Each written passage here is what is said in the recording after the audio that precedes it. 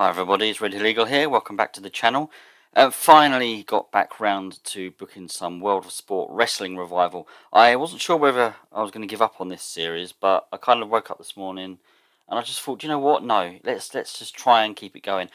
I started sort of booking it a little bit differently to the WCW series. I was sort of really planning ahead and everything, each and every individual show, and I'm not doing that that with the WCW one, I think the WCW one's just working out a hell of a lot better. So I was just like, oh, I don't know. But I thought, no, let's give it a go. Um, before I go any further as well, I uh, my voice, I, you might notice a difference in my voice today. I was at a football match yesterday at Wembley. Um, those of you who might know anything about football um, in England, uh, Crawley Town, my local club, wouldn't say it's the team I support as such, but it's my local club, um, won a game at Wembley, which means they get promoted and my voice has gone a little bit. So yeah, but let's get through this. If you can remember, I don't know if, how much you can remember from the previous episodes. You might need to go back and have a look. I did. Um, but Kurt Angle has uh, sort of come in as our um, shareholder. We needed some uh, sort of uh, a boost in star power, I guess, really. But only got a 44 on this one. Uh, I don't know whether that's related to the guys he's talking to, or talking about, I should say. But basically, he just comes out to open the show and announce tonight's main event, which will be James Drake against Greg Burridge. Yeah, rating 44. We kick off the ring action with Harry Smith against uh, Mikey Whiplash. Decent wrestling, a little heat. Harry Smith defeated Mikey Whiplash in 4 minutes 38 by pinfall with a Bulldog bomb. Yeah, 32, a little bit disappointing. Uh, our road agents are pretty awful. We're always going to get that note, really, pretty much on every match. Um, we the roster is very very unimportant heavy. We don't have we don't have any stars. We don't have any major stars. We've got like two well knowns and like three or four recognizable, or that might be the other way around, whatever. But everyone else is unimportant. So we are kind of um, struggling a little bit. Um, but it's all about getting people over. So yeah, we're trying to get um, Harry Smith over a little bit. Mikey Whiplash is at that kind of age where he's not really not really going to push him. So yeah, I went with this one. Post match, Cyanide comes out and he attacks Harry Smith and Mikey Whiplash.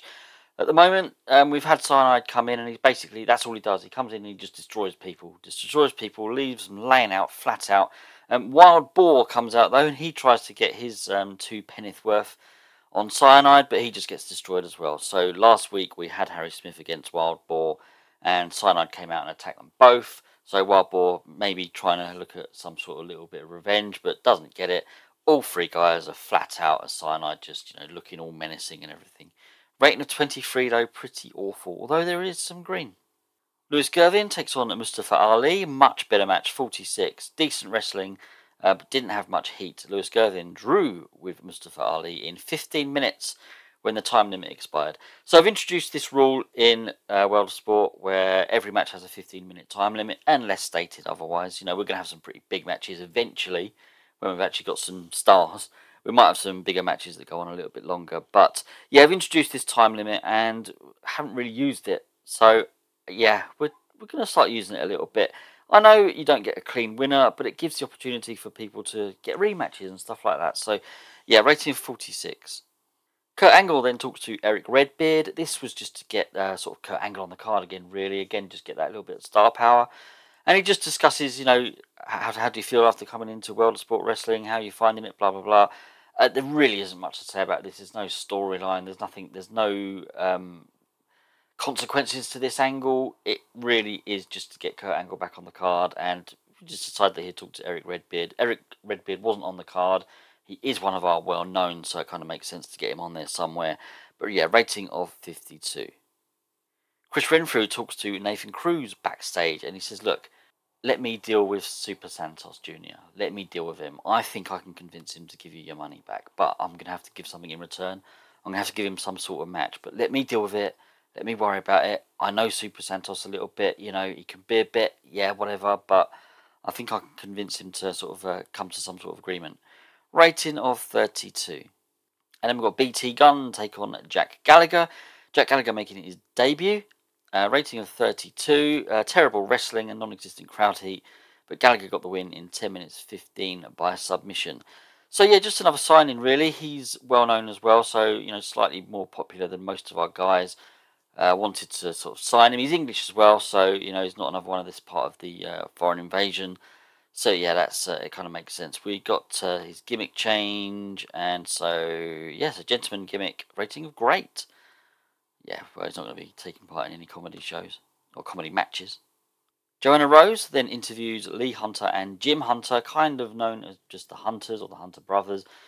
But they are announcing that they are becoming tag team exclusive. They will not feature in solo matches. They are tag team. They want to be tag team. They're looking to become, you know, the first tag team champions. And that's all this angle does, really. We're establishing a firm tag team. We've also put the other guys um, that we've had sort of had teaming uh, Tyson T Bone with Styx and Mark Haskins and Joel Redman. We've put them in game as a tag team, uh, only as individuals, but but yeah, let, us try and sort of really drum up a bit, a bit of a tag team division, even if they're made up as individuals. But the Hunters are um, they're announcing here that they are exclusively tag team. Rating is 25 though, another poor one. Joseph Connors and Martin Kirby take on the Thrillers. This is one of the other tag teams I was talking about, Joel Redman and Mark Haskins.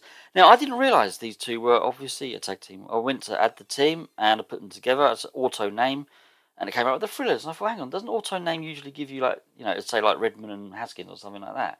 Turns out they were a team, so it's come up as the Thrillers. But rating 46, pretty decent. And it says here, had decent wrestling with little heat. The Thrillers defeated Joseph Connors and Martin Kirby in 9 minutes 19 when Haskins pinned Joseph Connors. Uh, Mark Haskins carried the match. Yeah, rating of 46. And then we've got Chris Renfrew being interviewed by John Robertson, and Chris Renfrew makes a challenge here to Super Santos. I'm challenging you to a $5,000 match. I know how you like your money because you've already cheated someone out of some money. But do you know what? Here's what I'm going to do. I am going to put up both sides of the money. I'm going to put up both halves of two and a half thousand. Let's face each other for that money, but I want you to be honest with me. That's a rating of 22. And then it's our main event Greg Burridge and James Drake. Didn't really know what else to go with. I mean, obviously, we've got to have one of our well known guys in the main event, and I just went with Burridge. Uh, why not? Rating of 39. Decent reaction from the crowd. Subpar wrestling. James Drake defeated Greg Burridge in 13 minutes 50 by pinfall with a 450 splash. So yeah, nothing much to say about this this match in particular. It's just the match I decided to put on until we get a sort of a clear view of you know some major stars, stars well known. Until we get you know the majority of our unimportant people up the card, you know we're just going to be throwing matches together really. But post match, Roy Knight decides to come down and attack James Drake. So uh, Roy Knight is kind of a little bit miffed as to why he wasn't sort of in that contention for the world title, and he's a bit annoyed. So he's attacking James Drake here. But then Joe Hendry, who we had on commentary, and again I'm annoyed why it doesn't give you the note here. But we had Joe Hendry on commentary for that for that match, and he decides to take off his headset. Get involved, and there's a sort of freeway brawl as we go off the air. Rating of 30. What do we get overall? 38 without looking back at the other shows, I don't know how well that's done, but I think I think that's pretty good. Yeah, I mean, increasing our popularity in two regions. Still don't have enough decent storylines, but again, that's down to pop. That's down to the lack of stars.